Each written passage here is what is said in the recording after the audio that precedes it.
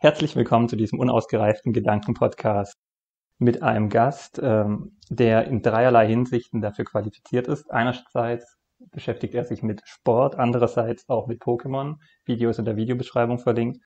Und zum Dritten hat er die wesentliche Eigenschaft besessen, Zeit zu haben für dieses Gespräch. Hallo Baka Critic. Hi, hi, hi, ich bin Baka, ich liebe Pokémon und ich habe Zeit. Ja, das war wesentlich. ähm, ja, wir wollten jetzt hier über Twilight Wings, Zwielichtflügel reden, mhm. die ersten zwei Folgen, die bisher erschienen sind, was für ein Eindruck damit entstanden ist und wie dieser Eindruck im Konzept zur gesamten Pokémon-Serie, Pokémon-Universum, könnte man ja sagen, äh, steht. Mhm. Und ich hatte überlegt, inwieweit auch in diesem Zusammenhang und auch in den kurzen Äußerungen, die ich von dir schon in dieser Richtung gehört habe, mhm. wie weit das, was wir jetzt sehen, eine Fortführung eines bisherigen Musters ist oder ob das irgendwie mittlerweile schon eine Zäsur darstellt oder ob die erste Zäsur nicht vielleicht sogar schon in der Figur Ash überhaupt angelegt ist. Okay. Ja, also, weil für mich ist die Prämisse von Pokémon eigentlich, bevor Ash einsetzt, dass wir, mhm. man könnte es mit einem äh, Spruch aus einem anderen Franchise, äh, könnte man es irgendwie resümieren, ein Ball sie zu knechten, sie alle zu finden, ins Dunkel zu treiben und ewig zu binden. Ja. Und ich meine, im Meisterball wird es dann par excellence vorgeführt, aber im Grunde geht es ja eigentlich ganz am Anfang darum, dass Pokémon von Menschen beherrscht werden. Und das fängt mit dieser Eröffnungsszene an im ersten Pokémon, was wir jetzt wieder in gewandelter Form, diese klassische Eröffnungsszene hier haben. Mhm. Man sieht eine Fernsehübertragung und zwei kämpfende Pokémon. Und das geht natürlich auf den Anfang der Spiele zurück. Und äh, das haben wir jetzt auch, aber hier finde ich, ist schon die gewandelte, äh, weiterentwickelte Form dieses Kampfs, weil jetzt sind nicht nur die Pokémon, die gegeneinander kämpfen. Es sind auch die Trainer, die sich selber inszenieren. Ja, also, also die Trainer kämpfen nicht, aber man hat im Unterschied zum Anfang, ach, ich bin völlig. okay, man hat diese Fernsehübertragung und jetzt sehen wir in Pokémon Twilight Wing, dass äh, die Trainerin Bea zu ihrem besiegten äh, Mashomai hinläuft und eben da Empathie zeigt. Und das ist am Anfang der ersten Staffel nicht der Fall. Ja. Und das ist eigentlich, glaube ich, für mich so die ganze Wandlung, die sich in dem Franchise mittlerweile zeigt. Und deswegen finde ich, irgendwie ist von Ash abgehend so ein Wandel da. Also man muss sagen, ich finde es eigentlich relativ interessant, ähm, dass diese beiden Serien jetzt quasi äh, relativ ähnlich anfangen, nämlich mit demselben Catch, dass man versucht, den kleinen, unschuldigen Jungen, der sich wahrscheinlich ähm, dieses, diese Serie jetzt das allererste Mal gibt, vielleicht sogar das der erste Kontakt mit Pokémon sein könnte, einfach damit versucht zu hooken, um zu äh, dass man zeigt, hey, diese Pokémon, die wir hier irgendwie überall präsent auf der ganzen Welt haben, sei es im Internet, sei es auf Spielzeugfiguren, was auch immer, die sind eigentlich primär dafür gedacht, ziemlich ziemlich coole Kämpfe zu liefern. Und was ich halt immer sehr, sehr ähm, inspirierend äh, eigentlich an diesem Anfangsszenario finde, sowohl im ersten Pokémon-Anime als auch hier, ist die Tatsache, dass halt äh, die Kämpfe der Pokémon wesentlich dynamischer dargestellt werden, als sie eigentlich tatsächlich sowohl im Rest der äh, richtigen Serie sind, als auch in den Spielen. Weißt du, in, der, in den Spielen hast du es ja sowieso, dass die Pokémon recht statisch sind, weil das Ganze äh, ein Rollenspiel ist, wo du nicht wirklich großartige Animationen erwarten darfst. Aber selbst später sind die Arenen in der Regel ja relativ klein. Und ähm, bei ähm, Twilight Wings haben wir jetzt ja diese Eigenheit, dass ähm, für die Spiele eine neue äh, Spielmechanik eingeführt wurde, mit denen die Pokémon größer gemacht werden können, äh, entsprechend auch die Arena sehr, sehr groß sein muss, was im Umkehrschluss aber die Folge hat, dass die Pokémon, solange sie nicht in äh, dieser Übergröße vorhanden sind in diesem Dynamax-Modus, ähm, sich tatsächlich auch bewegen müssen, dass sie den Raum auch tatsächlich nutzen müssen,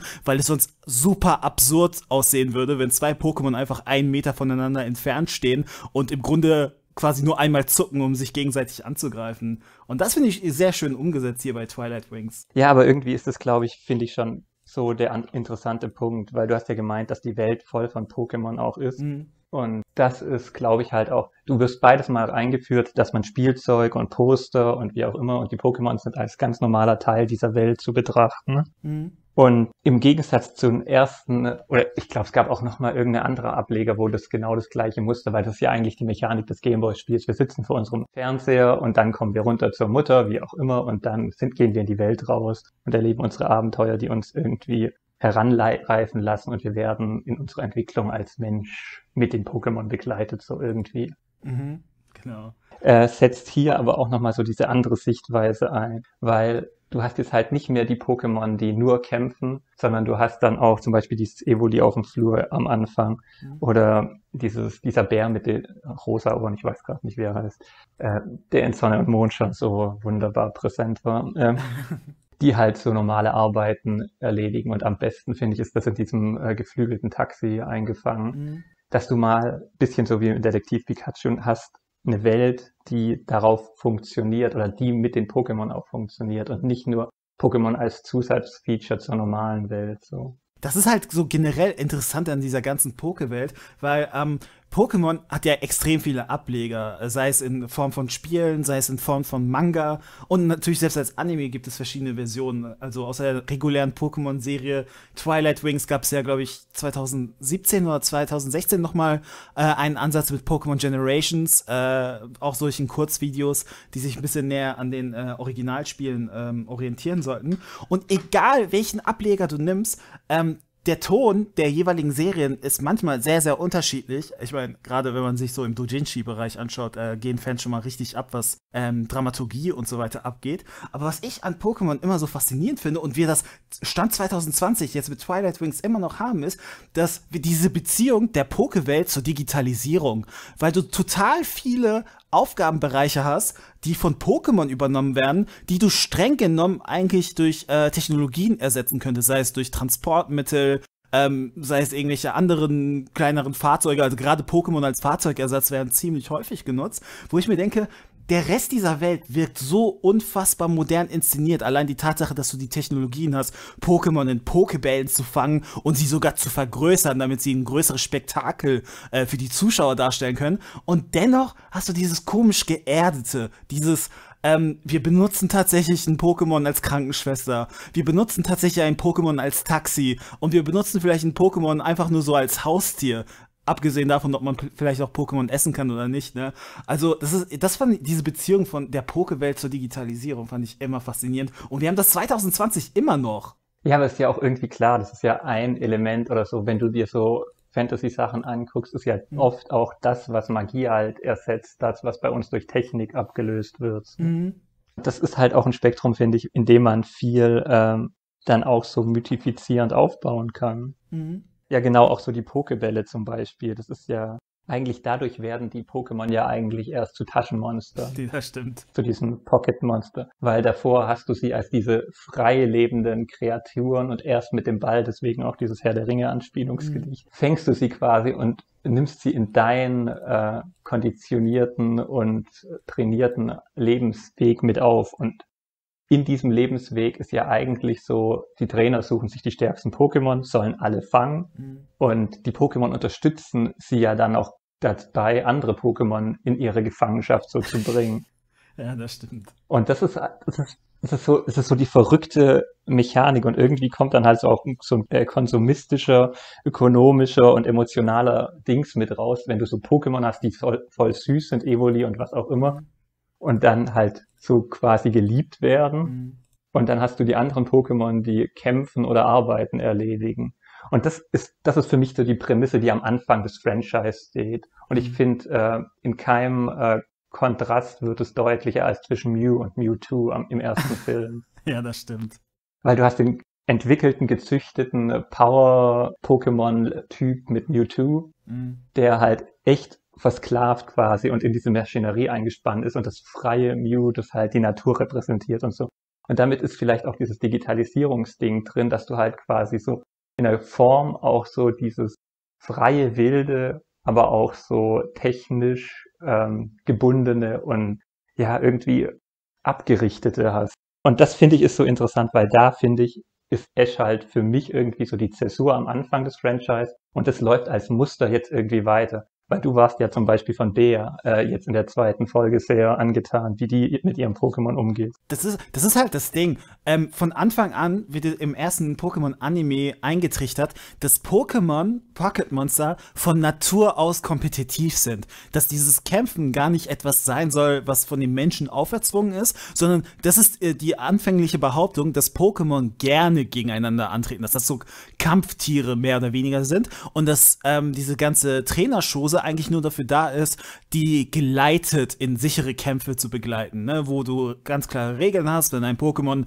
solche komischen Ad-Augen bekommt, dann kann es nicht mehr kämpfen, also da brechen wir die Kämpfe ab und so weiter. Und die sind ja komischerweise sehr robust gegen eigentlich unfassbar grausame Angriffsmethoden wie Verbrennungen und Elektroschocks und manchmal sogar Schlimmeres. Manche Pokémon haben ja straight up Klingen und so weiter, ne? Und was ich halt ähm, bei der Figur des Ash Ketchum Satoshi eigentlich nie wirklich Ah, beziehungsweise, was ich immer gut fand, war immer, dass in dem ersten Pokémon-Anime ganz klar auch äh, ein Charakter gezeichnet wurde, ähm, dass dieser Junge, dieser zehnjährige Junge, tatsächlich nüchtern betrachtet kein guter Trainer ist, weil er seine Pokémon nie trainiert, sondern stattdessen sie von Kampf zu Kampf scheucht, die sich immer zwangsläufig äh, aus seinem eigenen Egoismus ergeben. Und in den Momenten, wo er zum Beispiel im allerersten Anime ähm, irgendwie ein oder zwei Monate Vorbereitungszeit für die Yoto, äh, nicht Yoto, äh, für die Kanto-Liga bekommt, nutzt er keinen der Tage, um tatsächlich aufrichtig zu trainieren, sondern ähm, gönnt sich natürlich und die Quittung bekommt er dann irgendwann in der fünften Runde, wenn das ihm wieder ähm, in den Hintern tritt. Während du halt bei äh, Pokémon Twilight Wings sehr schön erkennst, dass Bea ähm, den Pokémon-Typ, für den sie sich entschieden hat, den Typ Kampf, tatsächlich voll und ganz supportet, indem sie von ihren Pokémon nichts anderes verlangt, als das, was sie von sich selber abverlangt. Ähm, sie trainiert mit ihren Pokémon zusammen verschiedene äh, Karate-Cutter. Sie tritt tatsächlich im Sparring gegen, gegen, äh, gegen sie an, auch wenn sie äh, tatsächlich physisch unfassbar überlegen sind. Aber innerhalb ihrer Möglichkeiten, innerhalb ihrer physischen Möglichkeiten zumindest, tut sie alles, um ihre Pokémon zu stärken und ihnen nicht irgendwie ähm, dieses Sklave-Herren-Verhältnis vorzuleben. Und das ist halt etwas, was sich generell abzeichnet, dass die ähm, Spin-offs von Pokémon sehr viel besser äh, vermitteln können als tatsächlich der originale Pokémon-Anime mit Ash. Ja, ich würde, glaube ich, da zwei äh, Relativierungen einbringen. Mhm. Oder ja, du siehst ja auch in Bea, die, sie kämpft ja auch gegen wildes Pokémon gemeinsam mit ihrem mhm. Pokémon. Also das ist ja auch das hattest du ja davor selten, dass quasi äh, Menschen gegen Pokémon antreten, so, mhm. so eine Gleichberechtigung oder so auf Augenhöhe. Und für mich ist da Ash eigentlich schon die Figur klar, der ist am Anfang völlig verzogen, will eigentlich nur Trainer wegen Ruhm und äh, Anerkennung werden und möchte der Größte sein und mhm. verschläft und kriegt es überhaupt nicht auf die Reihe. Aber dieses zwiegespaltene Verhältnis von Pikachu und ihm führt ja dazu, dass er quasi seinen Stolz brechen muss und dann zum Beispiel in den Formen mit äh, diesem Kampf mit den Bibors, und nee, das sind Taubsis, mhm. mit den Taubsis, äh, dann halt auch sich opfert. Und das ist dann im Pokémon-Film dann auch nochmal stärker so, dass Mewtwo ja dann sieht, okay, er, er ist bereit, sich für ein Pokémon, also in dem Fall Pikachu, äh, auch Schaden einzunehmen. Und da finde ich ist dann so diese Krux, weil dann wird dieses Verhältnis, was eigentlich so ein äh, hierarchisches ist, wird irgendwie zurück in so ein freundschaftlich oder zumindest anerkennt gleichwertiges geführt. Und das ist für mich irgendwie so die eigentliche, der Zäsurpunkt, an dem Pokémon eigentlich erst anfängt, dass wir sehen, okay, du hast diese Welt und eigentlich ist die Mechanik auch in den Spielen darauf ausgelegt, du sollst alles schnappen, alles sammeln, alles besitzen und in deine Verfügungsgewalt bringen, aber du brauchst es nicht und eigentlich kannst du auswählen, die Pokémon, die für dich passen. So und dann mit denen irgendwie gegenseitig sich so weiterentwickeln. Mhm. Und ich finde, das kommt halt in der Twilight Wings Adaption jetzt so gut raus, auch am Anfang, wenn dann der Chairman zum Beispiel oben zu dem kleinen, blonden, äh, jungen mhm. John auf dem Dach meint, dass er ein guter Trainer wäre, weil äh, die Pokémon ihn mögen. Also hast du da auch schon irgendwo so die Gefühlsebene der Pokémon drin. Mhm. mhm. Kommt dann mit Bea dann auch, auch wenn ich irgendwie finde, dass diese zwei Kinder aussehen wie äh, die Protagonisten in Devilman Crybaby. Das und eine Mischung aus dem und dem modernen Digimon-Stil. Also die können auch irgendwie hm. Tai und Matt sein. Ja, ja. Aber ja, irgendwie fand ich das halt so vom Bruch her interessant. Und ich meine, Pokémon ist ja deshalb irgendwie so anscheinend legendär entstanden, weil es diese Insektensammel oder äh, Dings von diesem Satoshi Tajiri gab. Deswegen heißt der Satoshi auch Satoshi im Japanischen. Und irgendwie finde ich interessant, dass man nach und nach von dieser Mechanik wegkam. Ich glaube, zum Beispiel in Sonne und Mond sind mit Ausnahme von Team Rocket eigentlich keine Pokémon äh, gewaltsam gefangen worden, sondern die sind alle bereitwillig in die Bälle gehüpft, weil sie sich davor angefreundet haben. Ja, das ist für mich so eine Entwicklung, die äh, mit jeder Staffel irgendwie mehr geworden ist dass äh, quasi das Verhältnis gekippt ist, so ein bisschen. Mhm, das ist es halt, ähm, dass tatsächlich, ähm, ich weiß nicht, wann es ist, weil ich nicht den kompletten Pokémon-Anime gesehen habe, aber zumindest im Original-Run, äh, die ersten irgendwie 200, 300 Folgen, an die ich mich erinnern kann, ähm, war es ja schon so, dass ähm, es definitiv eine Charakterisierung von Ashs Pokémon-Team grundsätzlich gab, zumindest das Team, auf das er häufiger ähm, zurückgegriffen hat, aber dass du grundsätzlich immer so ein bisschen das Problem hattest, gerade je mehr Pokémon Ash gefangen hat, desto schlimmer wurde das, dass irgendwie ähm, seine Kumpel-Pokémon äh, auch ein bisschen in Vergessenheit geraten sind, obwohl er sie tagtäglich bei sich mitschleppt. Ne? Das ist ja irgendwie auch das Absurde an Pokémon, dass eigentlich Ash also generell allen Trainern niemand vorschreiben kann, hey, äh, wir haben so ein Gesetz, du musst deine Pokémon in Pokebällen irgendwie äh, die ganze Zeit mit dir schleppen,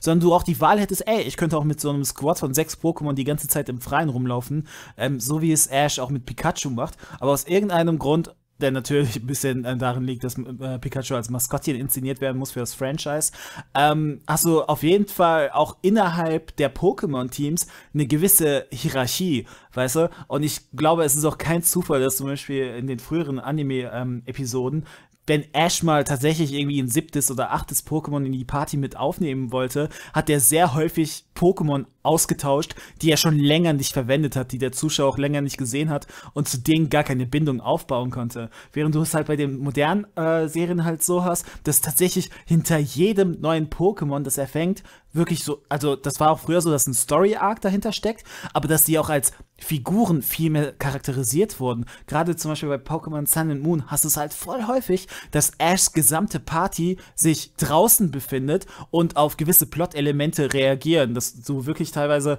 fernab von ihren eigenen Charakterzügen auch ähm, bestimmte Reaktionen hast. Dass du hast einen Typen hast, der immer agro ist, irgendwie seine Feuerkatze, äh, einen, der immer ängstlich ist, seine Eule und so weiter. Und das ist etwas, was sich in den äh, laufenden Pokémon äh, Serien auf jeden Fall gebessert hat, dass dieses Freundschaftliche mehr in den Fokus gerückt ist. Aber letztendlich hast du es dann trotzdem jedes Mal am Anfang, ähm, dass, äh, dass Ash erstmal neue Pokémon gefangen nehmen muss und erstmal in Pokebälle steckt, bevor er ihnen erlaubt, an die frische Luft zu kommen. Ja, wobei das, glaube ich, in Sun and Moon jetzt anders war. Aber äh, ja, ich fand auch, und vor allem da hast du ja nicht nur ähm, Ash mit Pikachu als Ausnahme, die das draußen rumläuft, sondern es sind ja eigentlich alle frei. Mhm.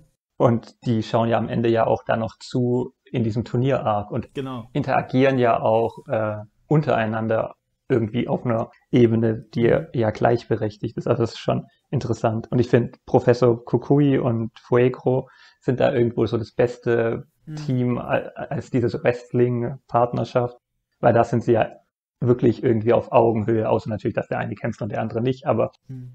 und andererseits äh, fand ich dann auch wieder interessant, um nochmal auf die erste Folge von Twilight äh, Wings zurückzukommen. Du hast wieder diese Drin-Szenario äh, als Anfang und damit wird wieder was Neues markiert. Mhm.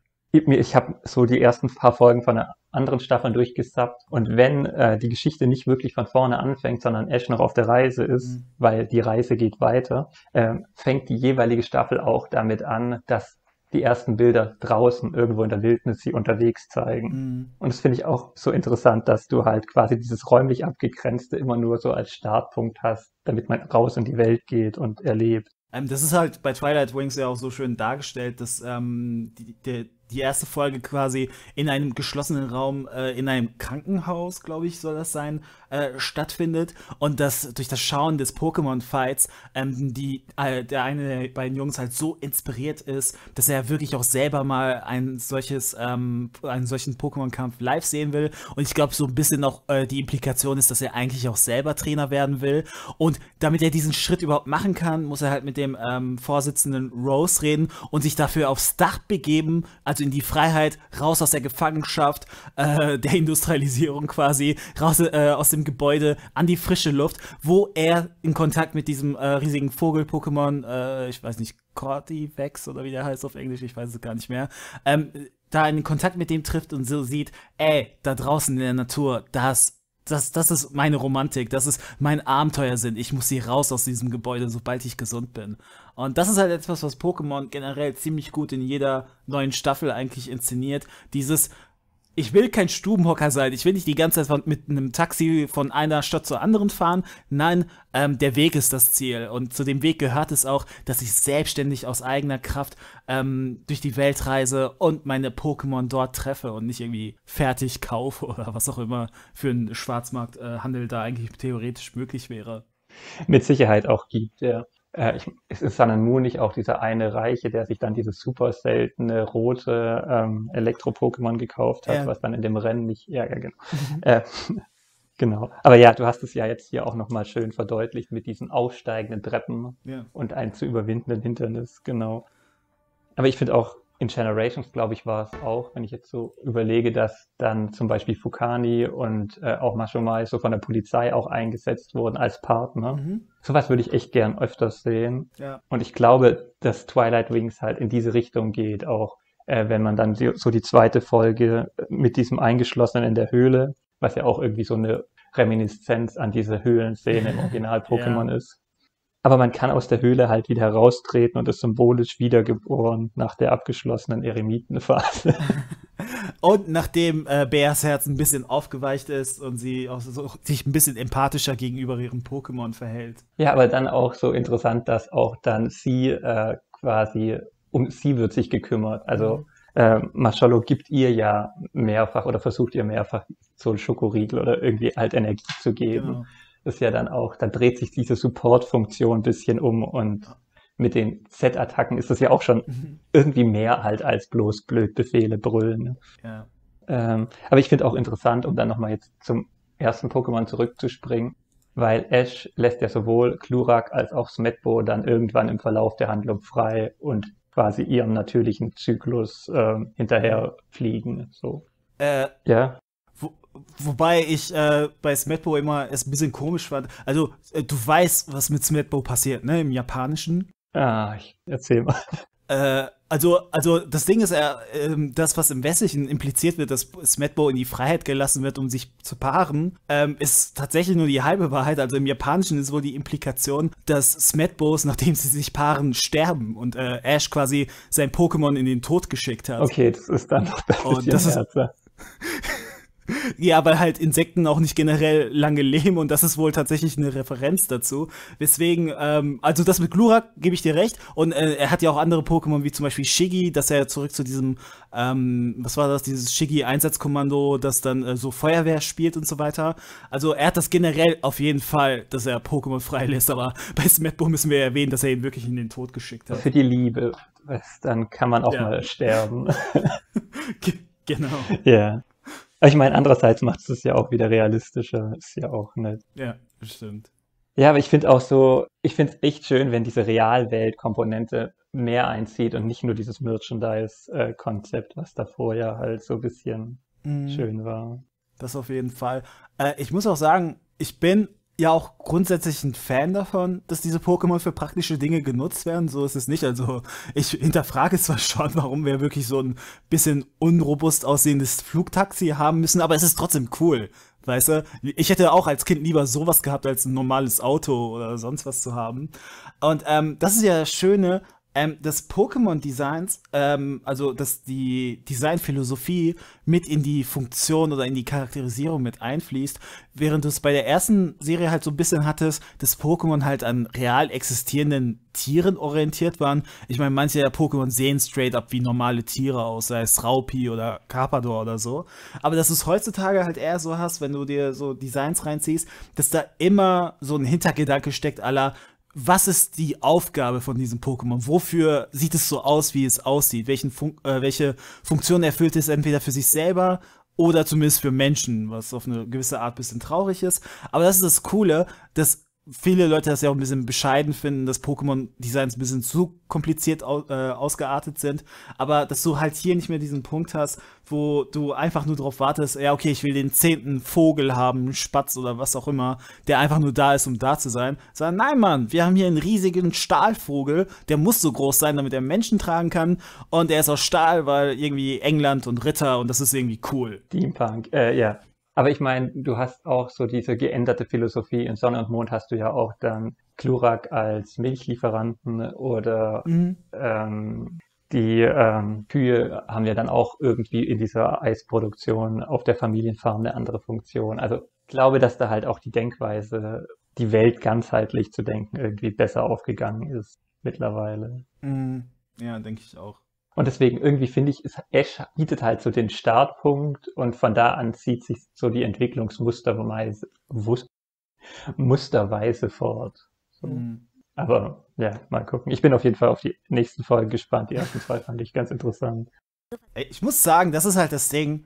Äh, ich habe ja zum Beispiel auch mal dieses äh, Video über Pokémon Dojinshi gemacht, wo ich auch gesagt habe, das liebe ich halt an Pokémon Spin-offs, dass sie mir eigentlich die Sachen geben, die ich von der originalen Serie irgendwie entweder nicht genug bekomme oder einfach gar nicht bekomme. Und ich, ich würde das halt so viel öfter gerne sehen. Und es liegt nicht nur daran, dass diese Folgen sehr, sehr schön animiert und gezeichnet waren, dass du auch mal siehst, okay, hey, hier ist eine, ein alternativer Take zu Sachen, die du eigentlich schon kennst, aber eben auf eine andere Art genutzt werden. Halt, hey, ein Pokémon-Kampf wie der von Ash muss gar nicht so die Norm sein, weißt du, dass der Typ irgendwie im letzten Moment irgendwie die Wände immer irgendwie einleitet, sondern da können auch ein bisschen andere Choreografien mit rein, je nachdem, welche Pokémon gewählt werden, die vielleicht Ash nicht einsetzt. Oder halt die Art und Weise, äh, wenn wirklich das Leben äh, von Leuten, die einfach normal in der Pokewelt arbeiten und keine Pokémon-Trainer sind, so ein bisschen fokussierst. Äh, ich habe gerade einen Kommentar gelesen, ich glaube, es war unter der zweiten Folge von Twilight Wings,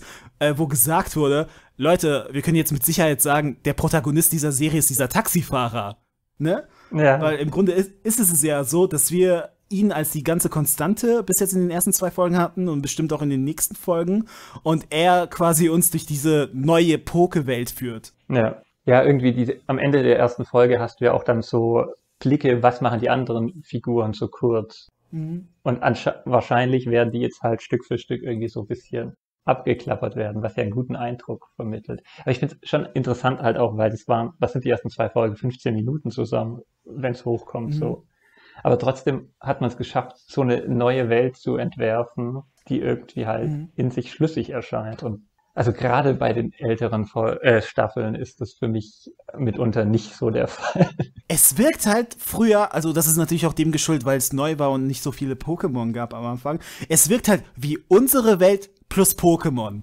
Während du hier ganz klar siehst, okay, Pokémon sind hier in die Historie dieses Ortes verwurzelt und deswegen haben wir keine normalen Taxis, weil wir halt schon immer diese Vögel hatten, die eine coole Funktion erfüllen oder sonst was. Dass du halt wirklich zum Beispiel auch ähm, bei Beas Training in Folge 2, wo sie halt ähm, diesen äh, diesen Jogginglauf macht mit ihren Pokémon und neben ihr ganz casual irgendwie so ein Garados äh, Salto schlägt irgendwie an dem See, an dem die vorbeilaufen, während ihr in der ersten Serie halt immer eingetrichtert wurde, dass Skaradosse, was auch immer der Plural ist, äh, super gefährliche Viecher sind, vor denen du auf jeden Fall in der freien Wildbahn abhauen musst. Und hier siehst du, nein, Mann, so muss das gar nicht sein. Alternative Möglichkeiten sind möglich und je nachdem, wo die leben, reagieren die vielleicht ein bisschen anders oder beziehungsweise die anderen Leute reagieren auf diese Viecher anders. Ja, Garados hat da irgendwie gewirkt, finde ich, wie so ein Fisch im Aquarium, der dich anguckt und dir dann so hinterher schwimmt.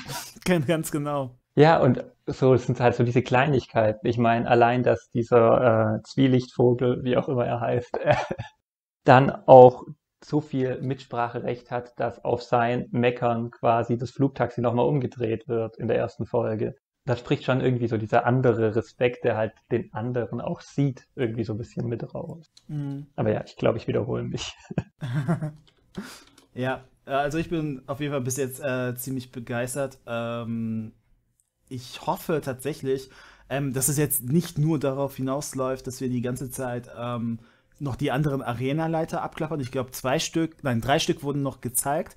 Aber ich fände es auch cool, wenn wir auch wieder zurück zur Episode 1 gehen könnten und sehen könnten, und sei es, wenn es in der finalen Folge ist, ob dieser kleine Junge tatsächlich das ähm, Krankenhaus verlässt und sich auf sein eigenes äh, Abenteuer begibt. Ja, aber ich bin mir eigentlich, oder ich hoffe, dass da so eine Entwicklung drin ist, weil ich meine, in Form von Bär hat man ja auch eine Entwicklung. Und wenn du so diese einzelnen Stationen, äh, weil der Taxiflieger muss ja auch noch durch die Gegend fliegen, kann ja überall gleichzeitig sein. Wenn man das im Zeitverlauf so irgendwie abklappert, ist ja vielleicht auch möglich, dass wir implizit auch viel erzählt bekommen über die Welt und die Entwicklung. So. Mm, mm.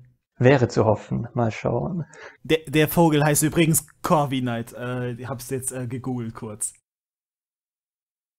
Ich weiß nicht, ich hätte es jetzt. Backer, du hast noch irgendwas, oder? Äh, auf jeden Fall will ich nur noch mal sagen, äh, wir haben viel zu lange warten müssen, bis wir einen wirklich seriösen Kampf zwischen einem Menschen und einem Pokémon gesehen haben. Ja, das ist allerdings wahr.